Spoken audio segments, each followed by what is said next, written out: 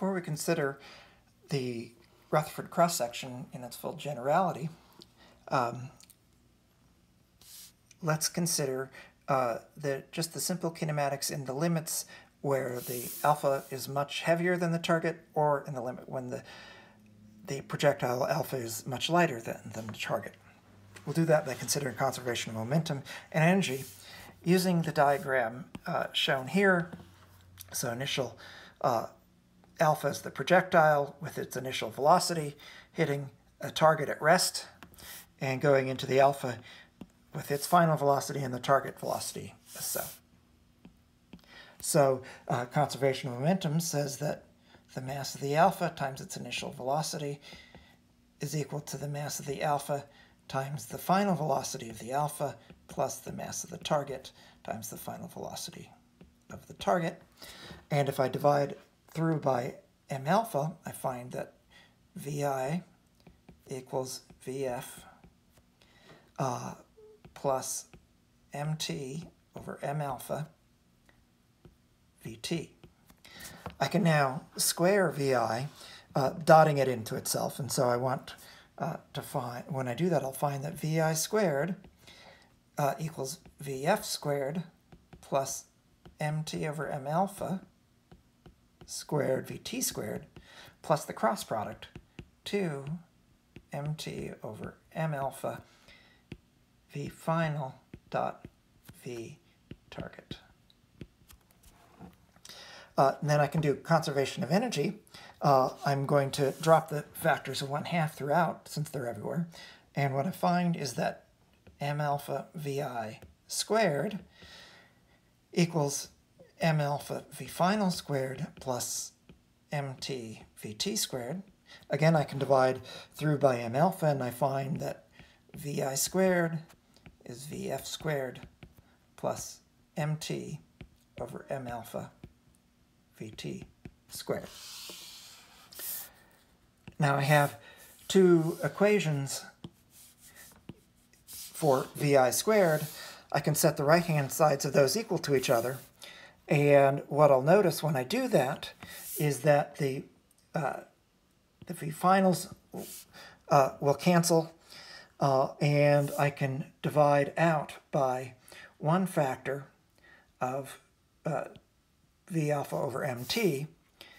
Uh, and what I get, and then I want to collect all the factors of VT on one side.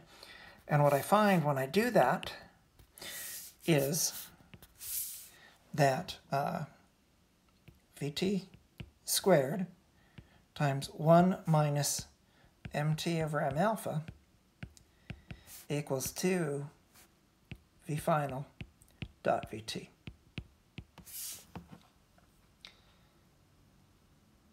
Okay, so now let me take, so I've, I've found all the factors of, I've put all the masses there, and so now let me take the, the two limiting cases uh, where, so if mt is much less than m alpha, then uh, the mt over m alpha term goes to zero, and I have that vt squared, which is positive, equals 2 vf dot vt. Since vf dot vt is positive, they both have to be going in the same direction, like so.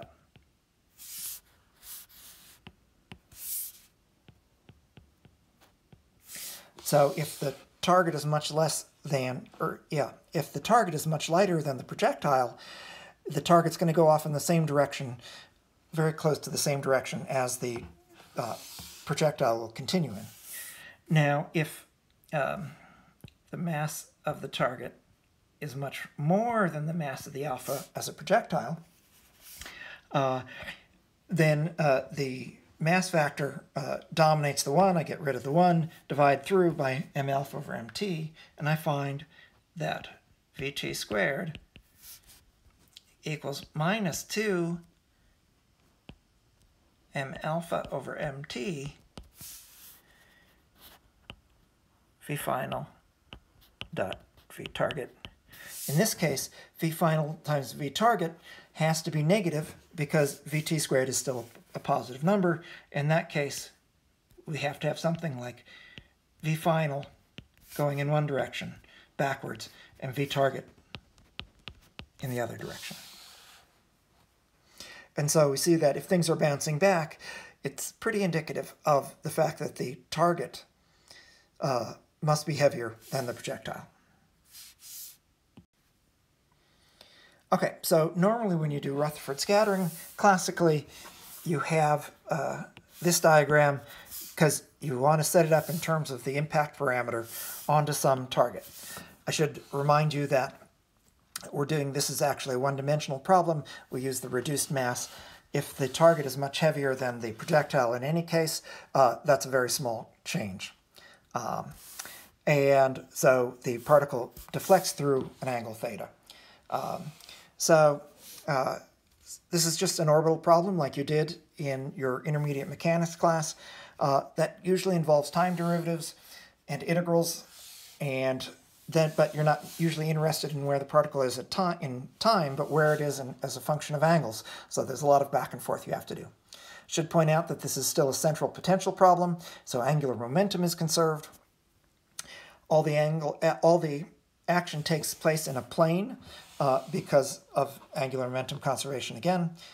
Uh, but I'll also point out that there's a symmetry axis, which is this axis here, uh, where the it's uniform, but it's not the axis of um, the beam direction. So in this calculation, we emphasize the theta and the impact parameter b, but it obscures the change of momentum that the target particle undergoes. And so it's better to use it, or it's a more straightforward calculation to consider a case where we line up this delta p axis with the y axis.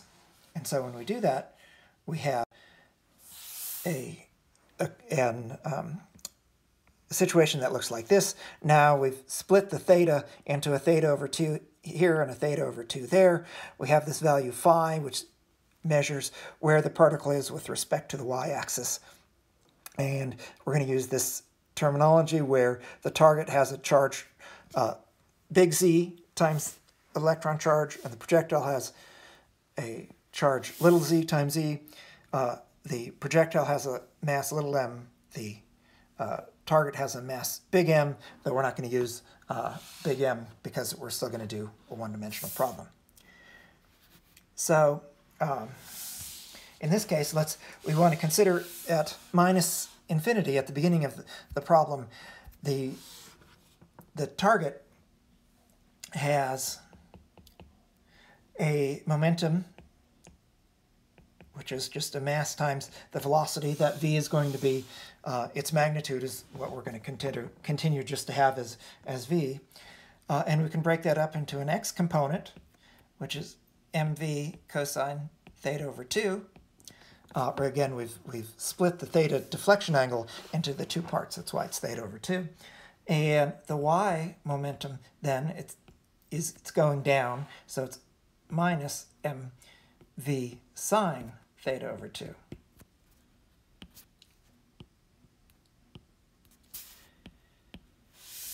Uh, then, if we look at the end of the problem, so go to plus infinity, what we have is that px recovers its same value. It's not the same throughout, but at the end, it ends up being the same. And the y value has exactly reversed itself. So if we find the total change in momentum from minus infinity to plus infinity, what we find is that the total change in momentum is 2 mv sine theta over 2 because we went from minus mv sine theta over 2 to plus mv sine theta over 2. Uh, we should write down a few other things for uh, our calculation. Uh, angular momentum is conserved, so angular momentum, which is p cross r, but uh, because the impact parameter is b, uh, we can easily do this, and we find that this is mvb. And so we can also write uh, the delta p. If we look at the mv there, that's 2 times the angular momentum over the impact parameter, times sine theta over 2. Uh, we will also remember that the angular momentum in terms of this phi can be written as mr squared d phi dt. Right? It's that's the angular speed. Sorry, I wrote d theta dt, d phi dt. Uh, and from that, it'll be useful to note what, how, because we're going to still do integrations in time, that uh, dt equals mr squared over L d phi, or r squared over vb d phi. Okay, so the reason we do that is because we can find this change of momentum, this change that we had before, uh, we can also do that by uh, finding it, it's a impulse. So we can say that delta p is the integral from t equals minus infinity to plus infinity of the force on the particle as a function of time, right? Force is change in momentum over time. We integrate that, we get the impulse. Um, and in our case, we know that the force is Coulomb's law, and we're only going to worry about the y direction of it because we know that the x direction cancels. And so that ends up being uh, big Z little z e squared, that's the charge squared, uh, over 4 pi epsilon naught uh, times the integral from minus infinity to infinity cosine phi, that's the y component, over r squared, that's the Coulomb part, dt. Now, uh, it's useful to get rid of the dt over r, and notice that dt uh, from our calculation before, we had dt is r squared vb r squared over vb times d phi. So making that substitution, we find that this is z, z, e squared, 4 pi epsilon naught. The constant 1 over vb comes out. I have my integral. Uh, the cosine phi stays there. The r squared of in uh, that I'm going to replace in the dt cancels the r squared that I had, so I just have cosine phi and d phi. Now, I have to find the limits. Uh, so at t is min minus infinity, uh, right, the particle's over here, and that's at this angle, negative phi, goes down to there. This angle is, is theta over 2.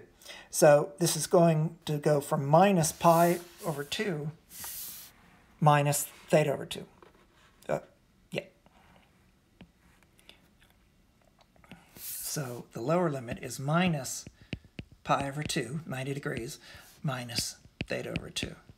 And then it goes to the symmetric side of that, so that's pi over 2 minus theta over 2 on the other side. Well, this is an integral I can do.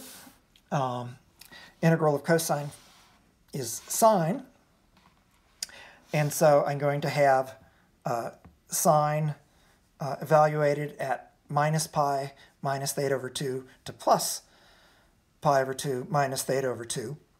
And sine, we know, uh, when you change the integrand, it changes sign. So that's just 2 times sine pi over 2 minus theta over 2. Sine of pi over 2 minus anything is cosine of that thing. So in the end, what I have is that this delta p is zz e squared over 4 pi epsilon naught 1 over vb 2 cosine theta over 2. And from before, I, I knew what that was. This also equals 2 mv sine theta over 2. And then I can see now I can relate b, have the b factor here. I want to set b, move it over to one side, move everything else to the other side, and you'll note that I have a v here and a v there. So if I divide 2mv here, bring it over this side, I'm going to have 2mv squared. I can write, write that as an energy. And then I'm also going to bring the sine theta down on the other side. Uh, and so I'm going to have cosine over sine of theta over 2. That's going to be cotangent. So in the end, what I find is that B equals z z e squared over 4 pi epsilon naught. 1, there's an extra factor of 2 that I haven't accounted for. 1 over the kinetic energy, initial kinetic energy of the target particle, that is, times the cotangent of theta over 2.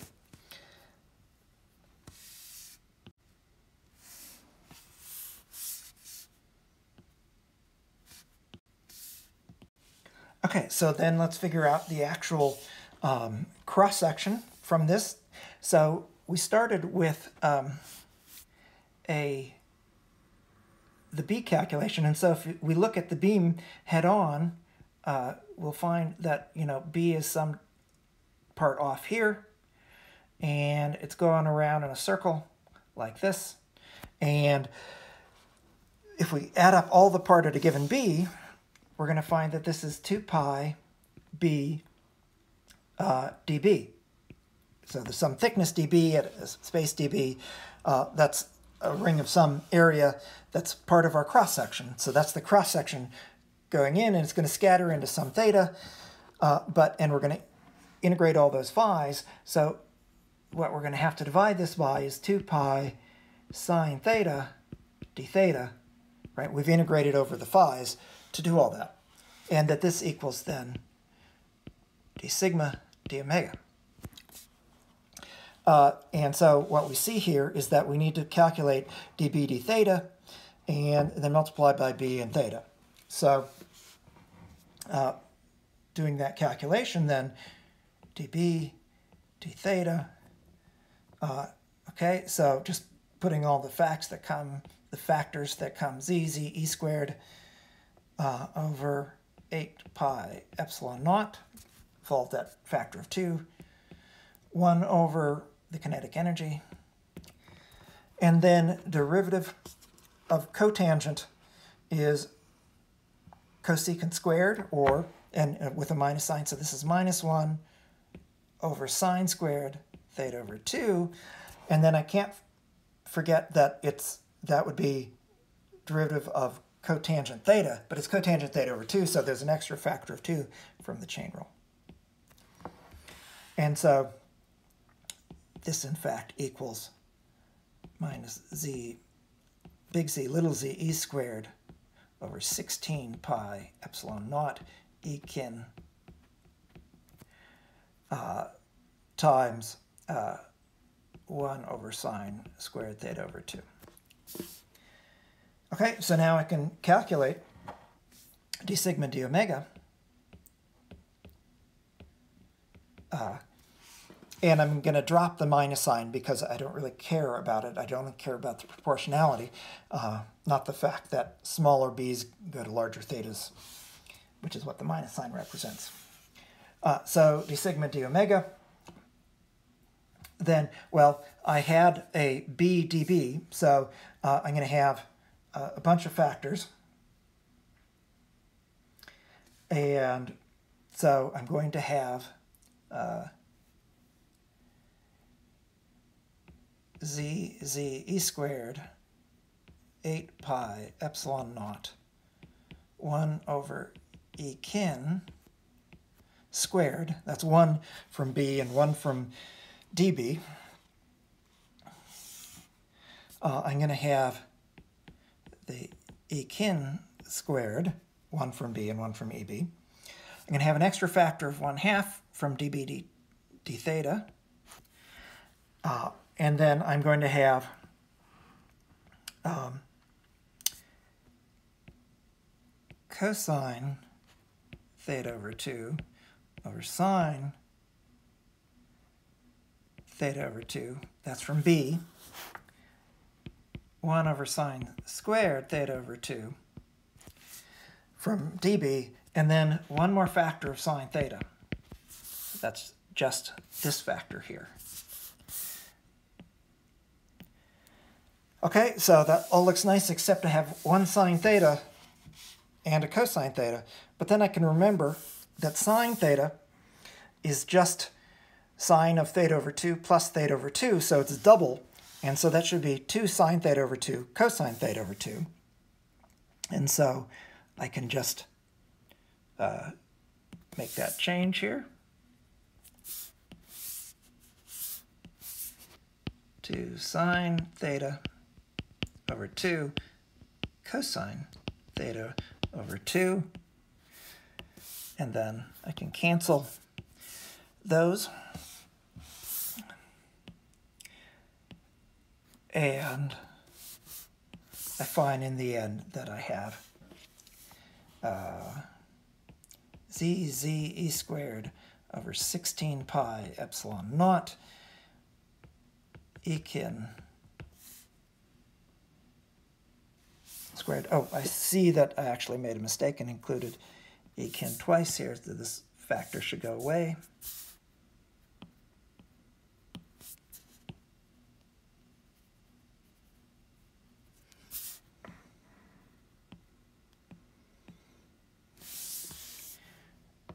Okay, so that's all squared. And then I have 1 over sine to the fourth theta over 2.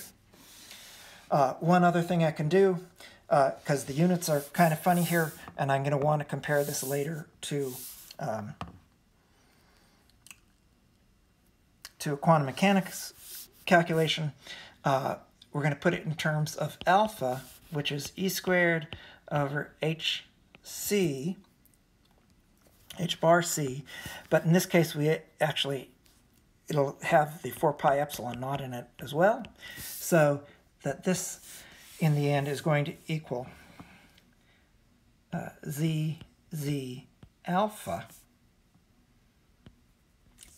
over, take away the 4 pi, I'm left with 4 e kin, which is just 2 mv squared, square that, times 1 over sine to the fourth theta over 2. And just to be clear about what the equation is, let's remove that alpha definition. And so, while I'm at it, I'm going to rewrite this.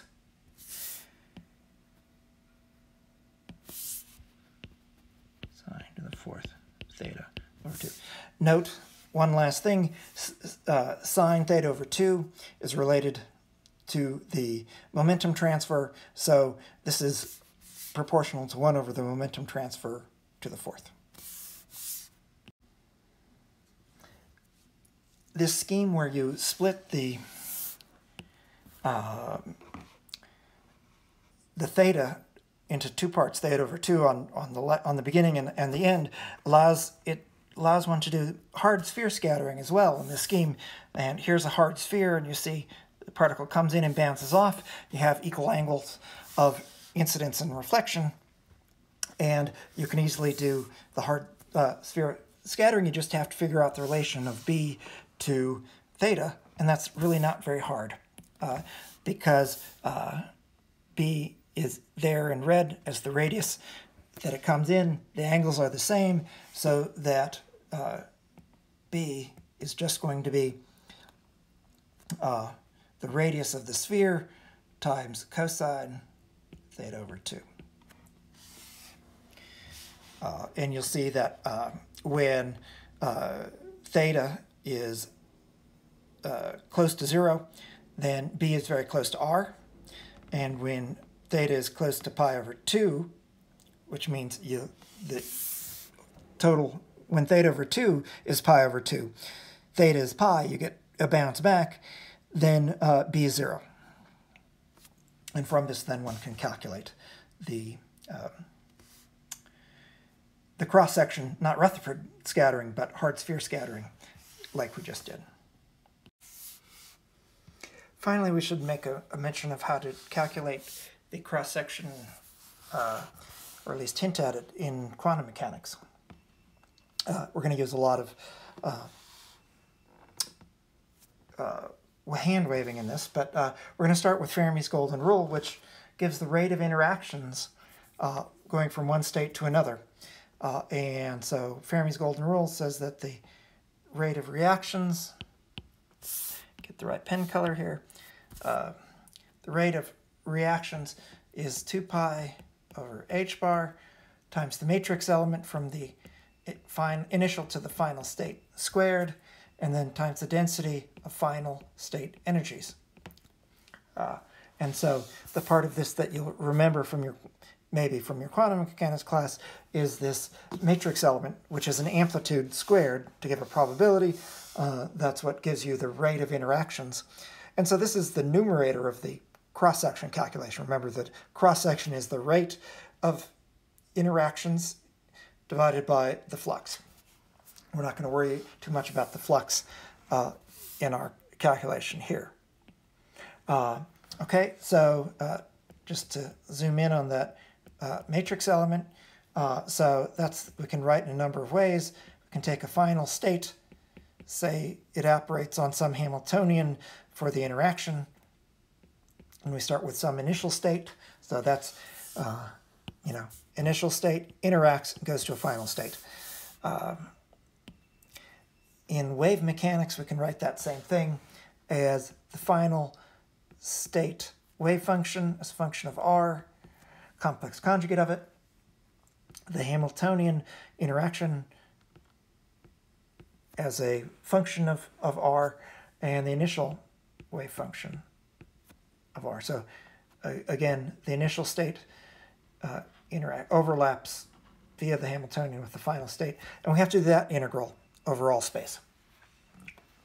Now, in our scattering cases, we want plane waves, and plane waves have psi of x proportional to e to the minus i k dot r. So k is the wave vector, it's uh, 1 over the wavelength in a given direction. So k tells you what direction you're going, and k dot r then gives you the wave going as you go along. And so initially and finally, uh, we have that. And so if we also assume the Born approximation and things just interact once, it'll be good enough for our purposes here, uh, we can say that uh, HFI uh, is integral over all space e to the plus i k prime dot r. k prime is the final state uh, wave vector. Uh, and then we, we, they just interact via the potential uh, and the initial state, e to the i k dot r, integrated over all space. Now, uh, it'll be useful to put this in terms of the momentum transfer. And so we're going from k to k prime in direction.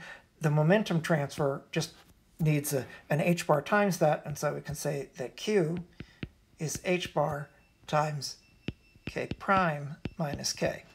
That's the momentum transferred to the particle between the initial state and the final state. And making that notation then, uh, we can combine the two exponentials and we get v of r e to the i over h bar q dot r d 3r. That's a r vector. And this, in fact, is a Fourier transform in three-dimensional space. So you have this Fourier transform term of the potential. And so we could say that what we get out of that is, in fact, just the potential in terms of momentum transfer. But we can actually do the Fourier transform as well. Uh, v has, you know, z's and e's in it and everything. Also, it's spherically symmetric, so there's going, if we do the integral over all space, we're actually going to do it in spherical coordinates. What we find is that this, in fact, will equal z, big Z, little z, e squared times 4 pi h bar squared, h bar squared, uh, divided by q squared. And if we recall that q, the magnitude of q, is 2p sine theta over 2, you'll see that q squared is going to be proportional to sine squared theta over 2, and we need to square this matrix element, so we're going to have sine squared theta over 4 in the denominator. And in fact, the quantum mechanics uh, calculation from all this gives exactly the same thing as the classical case. d sigma d omega is z z alpha h bar squared h bar c over 2 mv squared, all of that squared times 1 over sine to the fourth theta over 2.